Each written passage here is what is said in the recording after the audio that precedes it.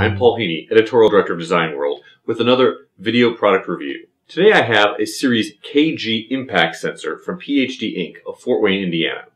Along with the uh, sensor is the KG1 programmer, and we also have a cylinder slide that we've got it mounted on here just for demonstration purposes.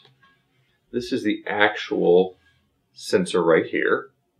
You can see it very easily mounts right onto the slide.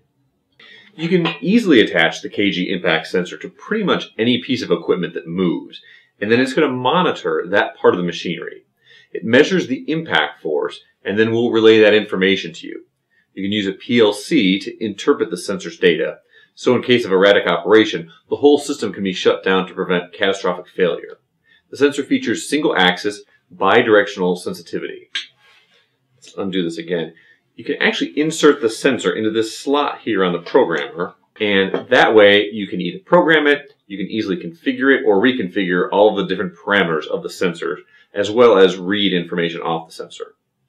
Oh, and this one programmer can service an unlimited number of the KG impact sensors. So what are some potential uses for the KG impact sensor? Here are three. One, you can use it as a predictive maintenance device. It detects change in impact force, it can help reduce unanticipated downtime, and it minimizes unnecessary preventive maintenance. Two, it can function as a productivity tripwire of sorts. So it can flag the appropriate personnel if there's a machine crash. It indicates when the machine has crashed, and that way you can use it to stop production of bad parts.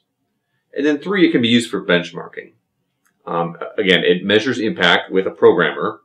It can count impacts or extreme vibration uh, 400 hertz, and then it will also monitor centripetal forces. For more information on the KG series impact sensor, you can visit www.phdinc.com slash KG.